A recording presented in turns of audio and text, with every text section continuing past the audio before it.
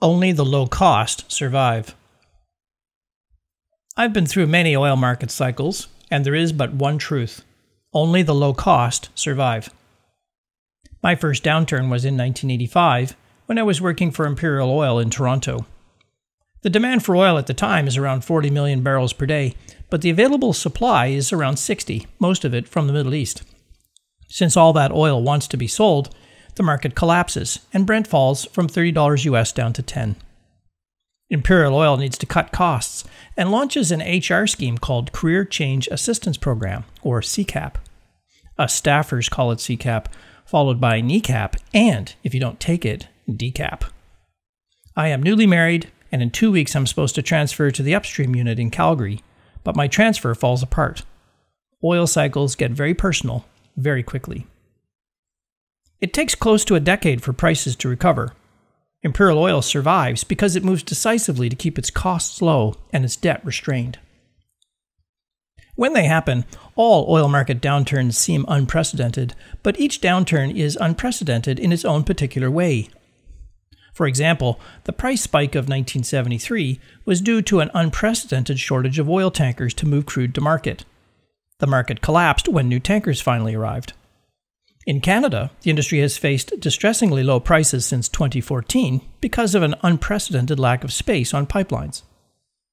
Today, in 2020, the downturn is about unprecedented changes in both demand and supply. The demand problem begins with the pandemic. Many other diseases kill more people each year, but in its short life, COVID 19 is now the fastest growing cause of death, and unabated has the potential to be the leading cause of death globally.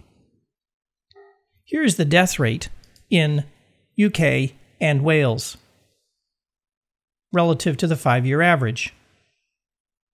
As you can see from yellow to white, the gap is huge. The health system impacts are unprecedented and are more like what happens after a tsunami, an earthquake, or a tornado, but striking everywhere at once. Government lockdowns have triggered a recession. Global GDP will be down by 3%, according to the International Monetary Fund. In comparison, it only fell 1.5% between 2008 and 2009, the time of the Great Financial Crisis. Global GDP is around $91 trillion, and 3% is about 3 trillion, which is about the GDP of the UK. Try to imagine the global economic contribution of the entire UK economy vanishing in 30 days. I'm already nostalgic for the warm beer. This decline across so many economies at the same time is unprecedented. Recessions mean fewer jobs, less commuting, less construction, fewer flights, lower investment, basically less of everything. OPEC thinks the demand for oil likely fell by roughly 20 million barrels per day for all of March and April. The drop in demand is unprecedented. Job losses in particular are horrific. The International Labour Organization estimates that globally, some 3.5, uh, 305 million people will have lost their jobs to the end of June. Note here how services jobs, shown in yellow, generally speaking, uh, stay uh, strong even when manufacturing jobs dip. But this time, both have descended at the same pace. This is unprecedented. The livelihoods of 50% of the global workforce of 3.5 billion people who toil away in the informal economy are at risk of complete destruction. This much unemployment this quickly is unprecedented. In response, many economies are attempting to keep the lights on by injecting stimulus dollars into their markets. The Globe and Mail thinks the stimulus campaigns to be around 5 trillion, an unprecedented amount. Stimulus money helps keep businesses going when there are no customers, but that does not always translate into oil demand. I interviewed the CEO of a fuel delivery business based in Houston. His company has a clear eye on the demand for petroleum because he delivers it. And it's down a lot. Diesel, gasoline, jet fuel, you name it. Just four months ago, his company would have been part of the services sector in oil and gas delivering over 22 million barrels of finished petroleum product in the US domestic market every day, and that has fallen to 14 million barrels per day. To understand the supply mayhem, we need to step back to 2008. From 2008 to 2018, according to BP, North American oil supply has grown from roughly 13 million barrels per day to 22.6. This much growth this quickly is unprecedented. Meanwhile, Russian oil production has barely moved from 12.7 million barrels per day to 14.5, and the supplies from the Middle East only grew from 26.5 million barrels per day to 31.7. North American oil production growth is greater than that from the Middle East and Russia combined, and it's all flowing to Asia, where purchases have grown from 26 million barrels per day to 36 in just a decade. American oil, that is relatively more expensive and technically complex to produce by its heavily indebted companies, has taken market share from Middle Eastern and Russian oil that is inexpensive and simple to produce from their state sponsored companies. This might make sense if that expensive oil commanded a higher price because it was somehow qualitatively better, but it's not. By February of this year, the economic ravages of the pandemic and its impact on oil demand were starting to emerge. Remember, China is both the biggest buyer of oil globally and the starting point for the pandemic. China, the customer, and OPEC, the supplier, could see the impacts of China's lockdown before anyone else. But then Russia balks at OPEC's pleas for deeper cuts, and so the producers decide to flood the market with oil. Whether the oversupply is poor decision making or a shrewd play to push the US out of the market doesn't matter. Supply surges ahead of demand by 20 million barrels per day, leaving heaving inventories of 1.2 billion barrels straining in storage. The speed of the inventory buildup is unprecedented. Now, the North American oil industry is in great pain.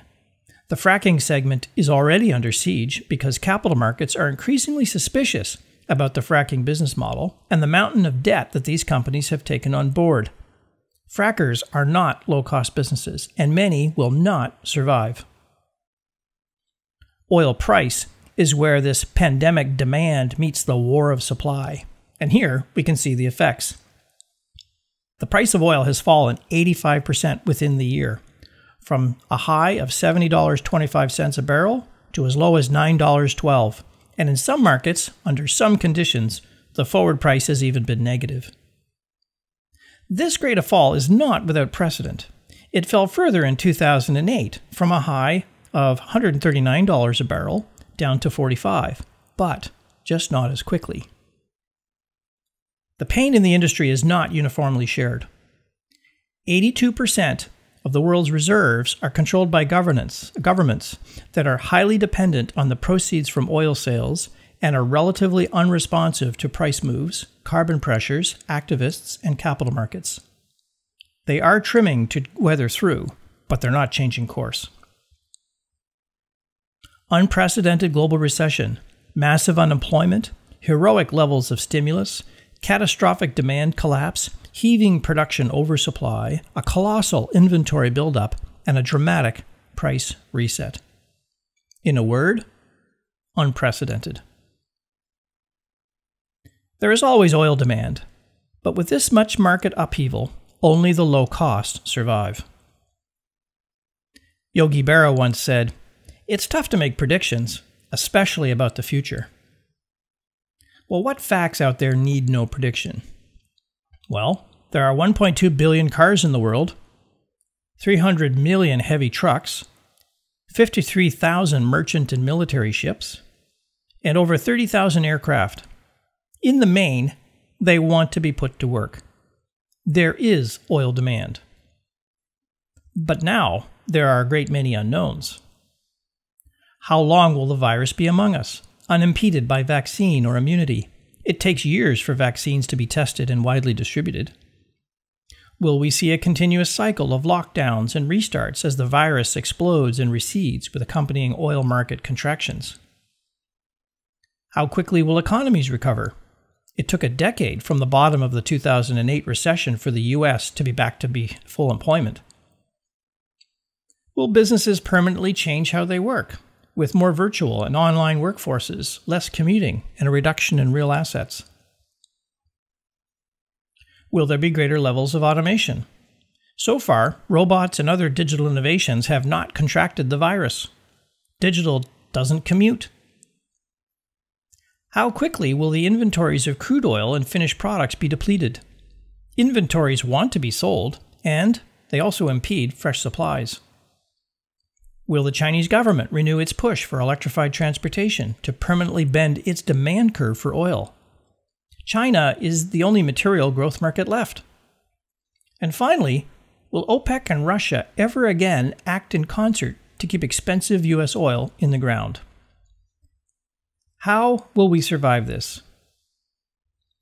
With cash now scarce, those with the lowest costs stand the best chance to survive. Wood Mackenzie analyzes the average production break even cost by basin. And at a price of $20 a barrel and a demand of 80 million barrels per day, the basins to the left on this slide are those that are broadly economic, and those to the right are broadly uneconomic. The US shale, the tight oils, is the big gold box. Six weeks ago, I ordered a set of blackout curtains from Amazon for my home office, because the window lighting was really bad for my video conferences. I would normally have gone to the mall, but they're closed. I applied for and I received one of those stimulus loans from the government. Normally, I would have had to pay a visit to a bank or a government office, but banks and government offices now limit access. It was all done online. My in person training course can handle 30 people at a time, but with the pandemic, there's no gatherings, no training. My online training course, though, has over 600 students from around the world paying in 30 different currencies. COVID driven digital has radically transformed my work world in just eight weeks. This isn't just about Zoom. It's about robots, remote monitoring, and automation of all kinds. It's about collaboration tools like Slack, online shopping, and virtual classrooms. It's about online banking, online government services.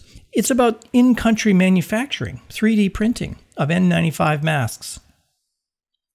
Last week, I spoke with Jim, the CEO of a publicly traded company. His business supplies the upstream industry with drilling equipment. They started two years ago to transform their product line to incorporate digital innovations such as remote monitoring and remote control. Now, his customers are demanding products that operate independently without forcing people to travel to work or to work even in close proximity to others. It's now clear that the adoption of new ways of working enabled by digital tools is a critical pathway to lower costs. Moreover, it turns out that the digital innovations I'm talking about are the key solution to solving the problems of the pandemic and the cost challenges of the industry. And they've been in front of us for a couple of years now. Those that embrace digital innovations see cost reductions of 20% or more and productivity gains of 20% or more. Some companies, like Repsol, have staked their future on achieving carbon neutrality, which can only be done if work processes that generate carbon are overhauled, at the same time solving for the pandemic and lowering costs. Only the low cost survive, and digital is the way forward.